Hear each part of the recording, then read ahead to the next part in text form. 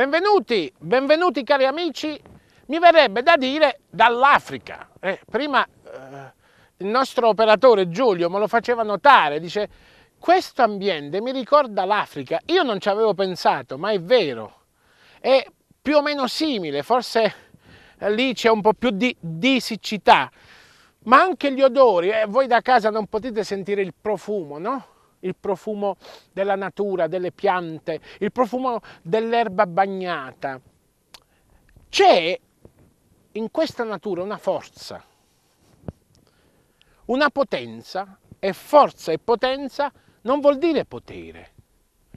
E questo ce lo ha insegnato non solo, soprattutto la filosofia orientale, ma anche e soprattutto Gesù. Stiamo parlando di come Gesù educa i suoi discepoli a vivere la forza del Padre, a vivere la potenza del Padre. E il trattato, tra virgolette, di questo argomento lo troviamo solo nel Vangelo. Gesù manifestava la potenza del Padre. Noi diciamo anche il potere del Padre e va bene, ma non il potere dell'uomo, quel potere che poi lo ha crocifisso, quel potere che lo ha perseguitato, quel potere che lo ha voluto eliminare perché temeva di, di liquefarsi. Ma veniamo al Vangelo e vi leggo un'affermazione dell'Evangelista Marco al capitolo 9, quando si parla di come Gesù annunciava, predicava la potenza di Dio.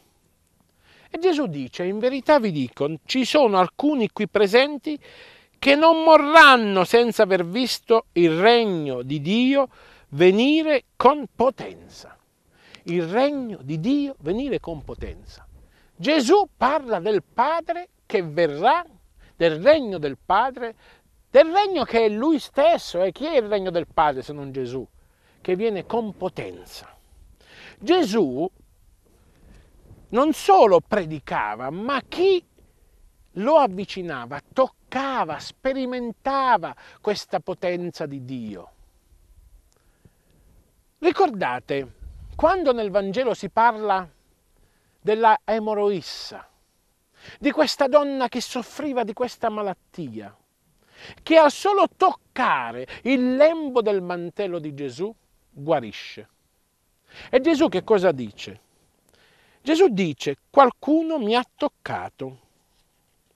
E tutta la folla cercava di toccarlo perché tutta la folla, la gente, l'uomo, ci ricorda l'evangelista Luca, tocca, cercava di, di, toccarlo perché sentiva, presentiva in lui questa potenza del Padre, non il potere dell'uomo, non il potere taumaturgico, non il potere dei potenti, non il potere dei, dei, dei politici, ma la gente vera, assetata di verità, cercava di toccare Gesù che era l'espressione, la manifestazione della potenza del Padre, che certamente è una potenza d'amore. E quando l'emoroissa tocca Gesù, Gesù che cosa dice? Qualcuno mi ha toccato. Ma l'emoroissa non, aveva proprio toccato Gesù, ma solo il lembo del mantello di Gesù. Gesù dice qualcuno mi ha toccato, ho sentito che una forza è uscita da me. Dice Gesù a capitolo 8 del, del, del Vangelo di Luca.